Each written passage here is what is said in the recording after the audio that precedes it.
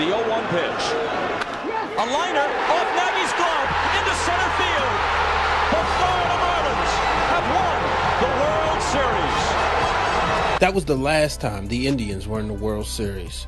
On that night, the trophy was on its way to their clubhouse. Instead, Jose Mesa blew the game, and the rest is history. Not just Indian fans, but Cleveland fans experience disappointment every year. But then, something magical happened.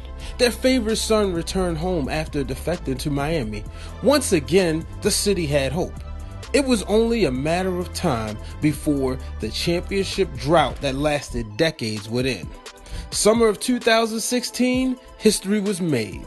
The Cleveland Cavaliers erased a 3 1 deficit and defeated the 73 win Golden State Warriors.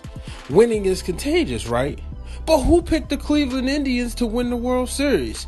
Yes, they have one of the game's best strikeout pitchers, but they have been tied down with injuries.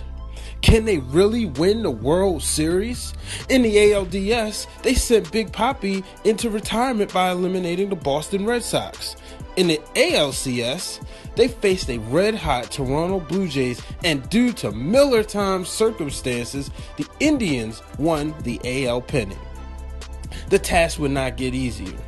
Up next, the 103 win Chicago Cubs. It's Kluber time. He was just unhittable. Sorry, Chicago, but. And yes, finally, we can say the Cleveland Indians have won the World Series.